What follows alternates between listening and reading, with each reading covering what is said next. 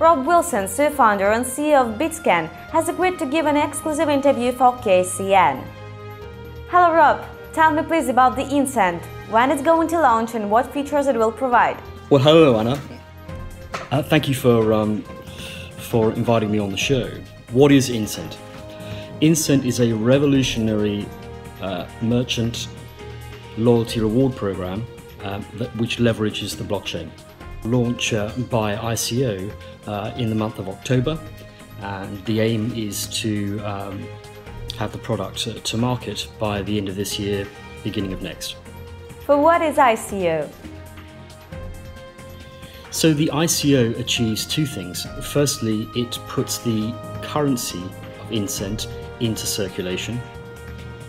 It sets a price for it, and after which it, trades, it trades uh, freely on an exchange. And it also uh, helps fund that uh, that development remaining to get the product to market, to establish as um, to, as an entity, uh, cover the compliance uh, that, which needs to be dealt with, and um, and finance business development operations and marketing, etc. What role does Bitscan play? Bitscan is the primary broker. Uh, Incent is a Bitscan product, uh, and we're a primary broker in order to provide liquidity uh, to that market at the point of sale. What do I mean by that? For this um, product to have the maximum impact on the consumer, we want to be in a situation where the moment um, a consumer purchases uh, something from a participating merchant at their point of sale, that immediately their phone buzzes and that reward value hits their wallet. That can't happen unless that um, that um, token is or that token value is delivered direct from Bitscan.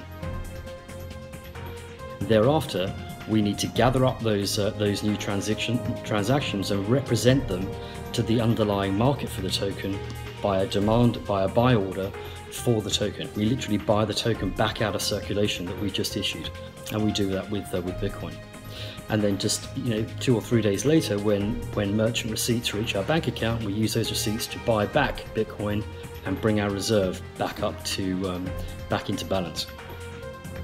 Will Bitscan launch some new project in the nearest time and what would it be? And we think we'll have that um, th those products completed um, towards the end of this year. The concept and the minimum viable product is is already complete. It just needs latching into the underlying digital currency, um, you know, Incent in this case. Um, so those products should be complete and ready for market by uh, the end of this year, beginning of next. And we're currently working with um, our first customers to to adjust the implementation to fit their specific needs. Thank you, Rob.